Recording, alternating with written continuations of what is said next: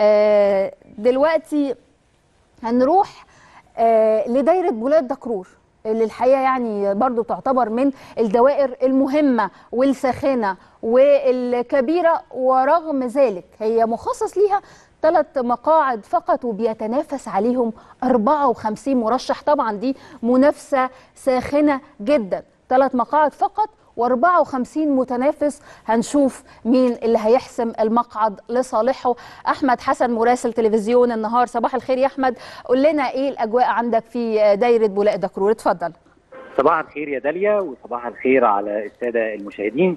إحنا موجودين من قبل ميعاد فتح البوابات بوابات اللجان نعم. حاليا في بولاق.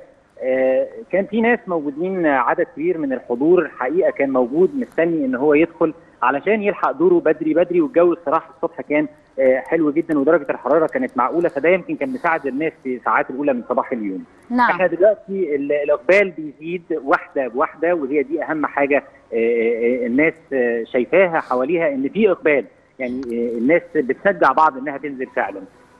النظام من أول دخول البوابة وطبعا آه، مراعاة لظروف الجائحة اللي بيمر بيها العالم كله جائحة كورونا. نعم. فبنلاحظ إن بيتم تسليم الناخب كماما بمجرد دخوله على اللجنة من على البوابة الرئيسية. أيوه. بعد كده بنلاقي علامات على الأرض بتخلي الناخبين يقفوا فيها حفاظا على التباعد الاجتماعي المطلوب. آه، بيدخل آه، كل ناخب بيكون عدد أقصى اثنين من الناخبين فقط داخل اللجنة. مم. بيتم تسليمه ال- الورقتين الخاصين آه، بالانتخاب. ورقة المقاعد الفردية وورقة للقوائم المغلقة بيدلي بصوته في المكان المخصص للإدلاء بالصوت بسرية تامة وبعد كده بيحط الورق في الصناديق المخصصة للاخراع وبكده بينتهي دور الناخب. نعم. آه، زي ما قلت لك يا داليا درجات الحرارة بصراحة مساعدة الناس حاليا إنها تنزل. يمكن الجو مش شديد الحرارة آه، زي ما تابعنا قبل كده مثلا في انتخابات مجلس الشيوخ اللي برضو تحدي الشعب المصري والمواطن المصري إن هو قد أي استحقاق دستوري إن هو بينزل.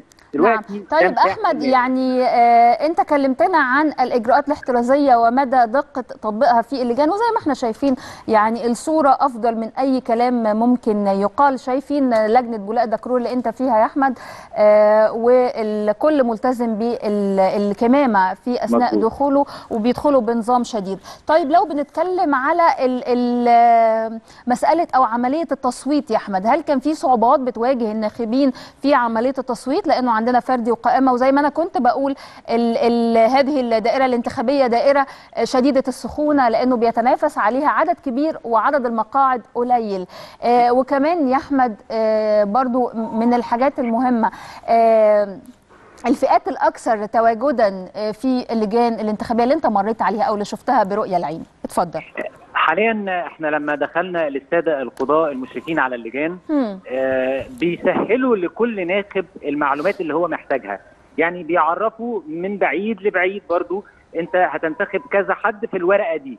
وكذا حد في الورقة دي بمنتهى البساطة والسلاسة آه، مراعاة برضو لبساطه ال- المواطن المصري. نعم. آه، فده بيسهل عليه. لو حابب يسأل في حاجة برضو عن قد إيه العلامات؟ يعني مفيش حاجة ليها علاقة بأي ناخب مهما كان.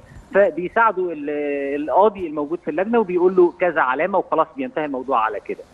ده بالنسبة للناخبين داخل اللجان آه، والموضوع بيبقى سهل بالنسبة لهم. نعم. الحضور الحضور آه، من الساعات الأولى كان من كبار السن. آه. وأيضا نسبة مشاركة السيدات آه، زي الصورة ما هي قدام حضرتك برضو كبيرة جدا. يعني ده برضو اللي ملاحظينه السيدات كبار السن آه، و و و وأيضا الناس اللي مصابة أو عندها إعاقة بصراحة الحقيقة موجودين برضو من الصباح ما امتنعوش إن هم يجوا ويدلوا بأصواتهم آه، في هذا الاستحقاق آه، الدستوري.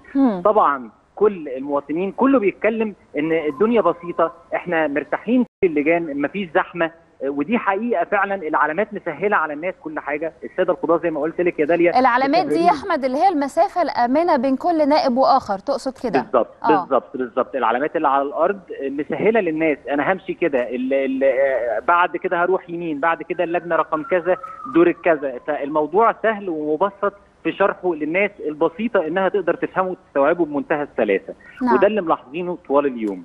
نعم. آه، أحمد حسن مراسل تلفزيون النهار من بولاق الدكرور. بنشكرك يا أحمد وهنتابع معاك على مدار اليوم آه، كيف تسير الأمور والأجواء داخل آه، بولاق الدكرور.